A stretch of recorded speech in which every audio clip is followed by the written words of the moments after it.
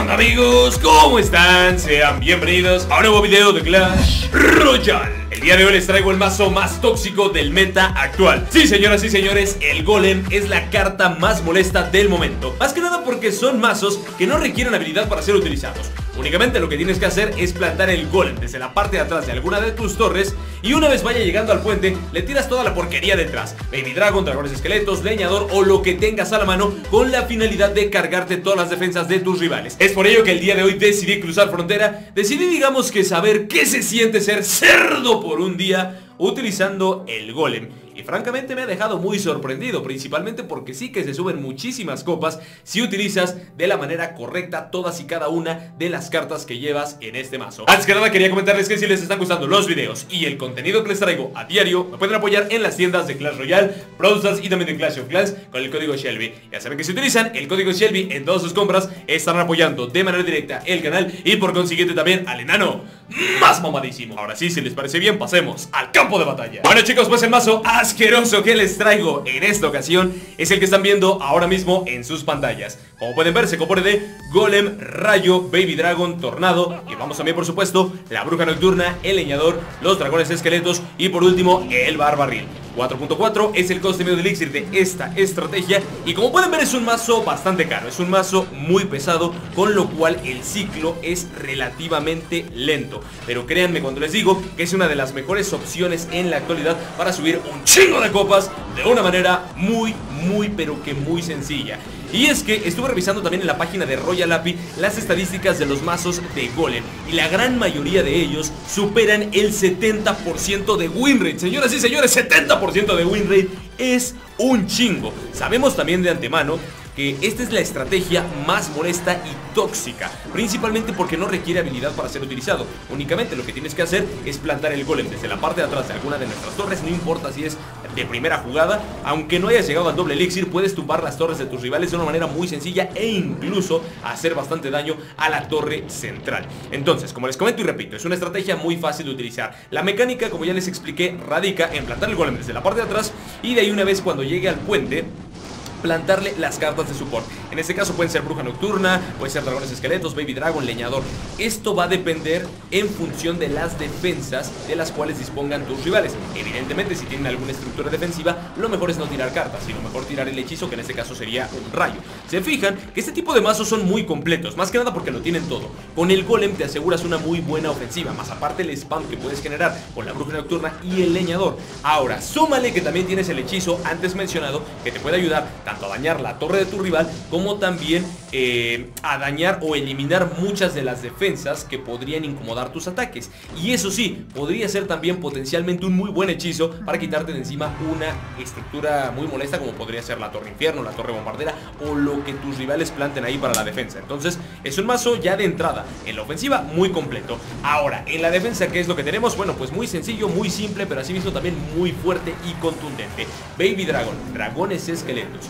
Barbarril y por si fuera poco un Tornado. Con estas cuatro cartas en defensa es muy complicado que algún ataque pase desapercibido. Es que lo tiene todo, puedes defender cualquier cosa. Se fijan que aquí yo me estoy enfrentando a un mazo de Mega Caballero y apliqué todo lo que les estoy mencionando este, ahora mismo. Lo que hice fue empezar con el golem de primera jugada y sacrificar la torre de la izquierda. Eso sí, no descuidé la defensa, estaba bien preparado por si es que mi rival venía con algo más, este, para que no me sacara las tres coronas, pero se fijan que logro tumbarle la torre de la derecha, le toco bastante la torre de el rey y después únicamente lo que hice fue empezar a plantar defensas. Dragones esqueletos desde la parte de atrás de la torre del rey Dragón, este, perdón, baby dragon Tornados, barbarriles y demás. Y se fijan que mi rival ya no pudo hacer absolutamente nada. Empecé a plantar los golems en el puente o bien en el centro del campo de batalla. Digamos que aprovechando que ya le había tumbado una torre pues se podía plantar ahí. Y el dragón infernal de mi oponente nunca fue problema. ¿Por qué? Porque yo tenía tanto dragones esqueletos Los murciélagos que van distrayendo también O un rayo que me podía ayudar en algún momento dado. Se fijan que logro tumbarle la torre de la izquierda a mi rival de una manera muy sencilla y asimismo también muy fácilmente le saco las tres coronas al término del enfrentamiento. Sin lugar a dudas, una de las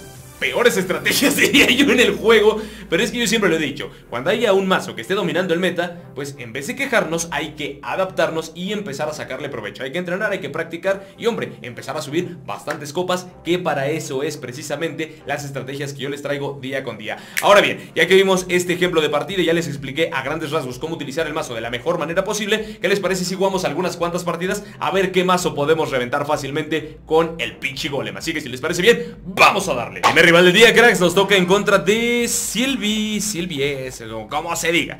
Eh, del clan PFG Bueno, ahora debo decir que tengo un muy mal inicio Y es que no tengo básicamente nada para, para, atacar. Sin embargo, se fijan que aquí lo que tengo Pues es fácilmente este, una bruja nocturna.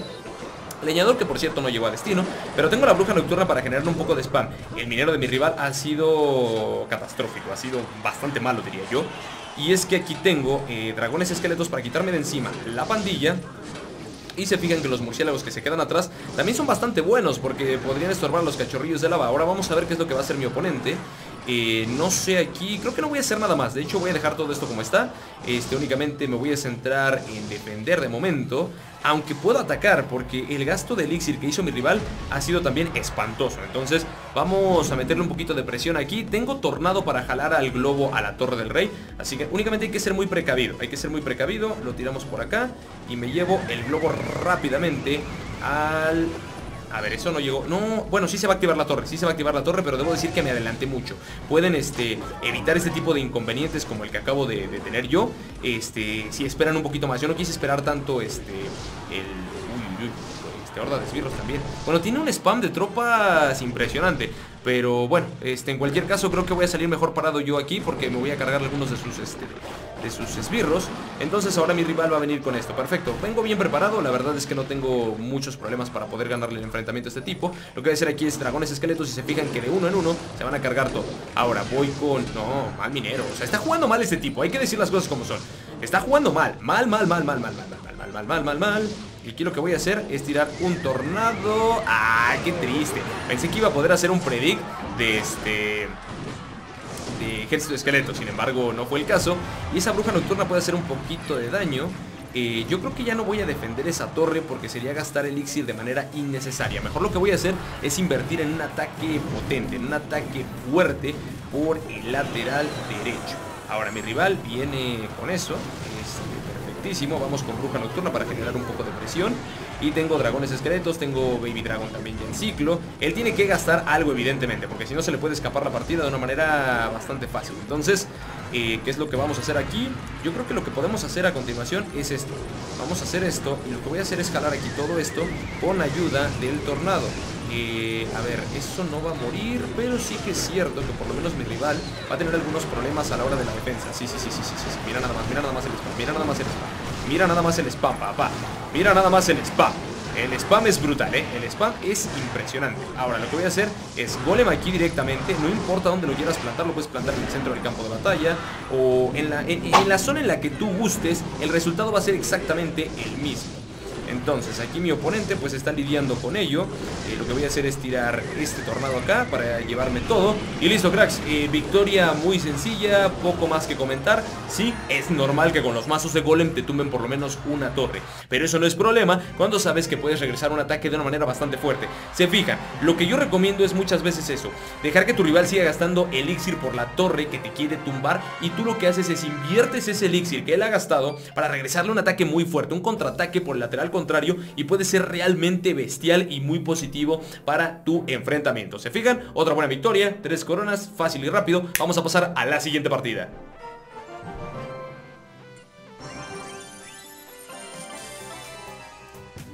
Siguiente rival, cracks, nos toca ahora en contra de Pringle Cheese del clan Lion Wardens.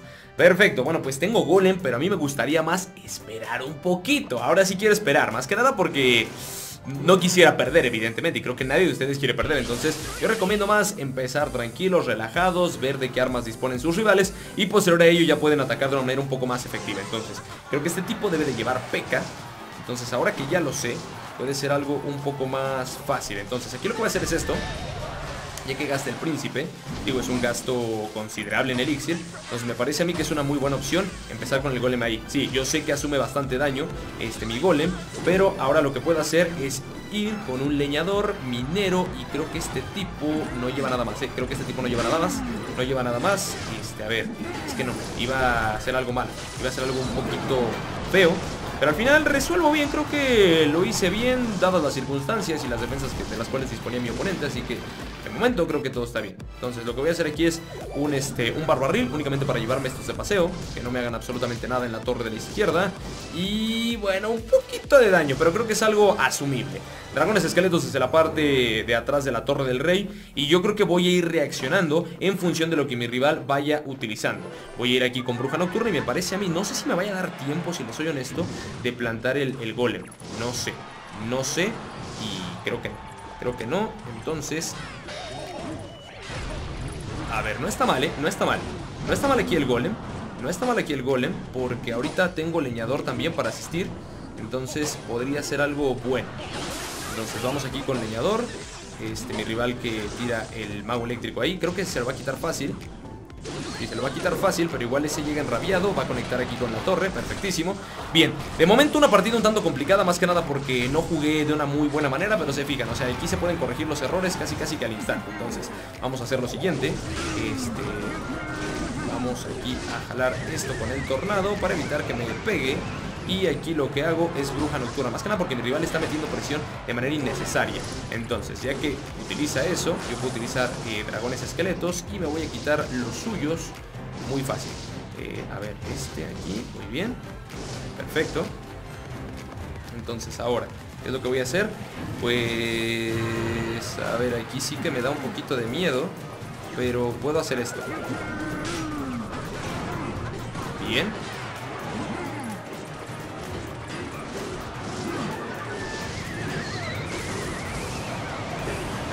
Y ese Baby Dragon que llegó, ese coló. Se coló el desgraciado. Y ya, ya la tengo a rayo, ya la tengo a rayo. Entonces únicamente lo que habría que hacer sería este, tirar leñador aquí. De hecho, ya ni siquiera tendría que hacer nada. Entonces vamos a plantarle aquí rayo y listo, cracks. Victoria. Otra buena victoria. O sea, es que poco más que comentar referente al mazo. Me dice que buena suerte. Vamos a darle las gracias. Y este, que no llore. es que con los mazos de golem es imposible no ser tóxico. Es un mazo tóxico. Hay que comportarnos como tal. Hay que comportarnos a la altura. Mazo Sí, asqueroso, yo lo sé. Seguramente muchos de ustedes me odiarán, pero yo sé que esto es lo mejor para ustedes. Yo sé que esta puede ser una grandísima estrategia si lo que quieren es subir bastantes copas. Eh, entonces, bueno chicos, aquí tienen el mazo, una muy buena opción si les gustan los mazos pesados, los mazos caros, los mazos asquerosos. Hombre, por lo menos yo ya sé qué es lo que se siente ser cerdo por un día. Así que chicos, por aquí vamos a ir dejando el video del día de hoy. Espero que este mazo, esta estrategia les ayude, digamos que a sobrepasar esa brecha, esa barrera de trofeos de la cual no pueden, no pueden sobrepasar, hombre, que lo puedan lograr con este mazo que tenemos el día de hoy. Si les gustó el mazo, si les gustó la estrategia, si les gustaron las partidas o por lo menos les saqué una buena sonrisa, pues ayúdenme dejando un buen like, suscribiéndose al canal, activando también la campanita de notificaciones para que YouTube, por supuesto, les avise cada que les traiga nuevo contenido. Yo no tengo nada más que decir, me despido y nos vemos hasta la próxima.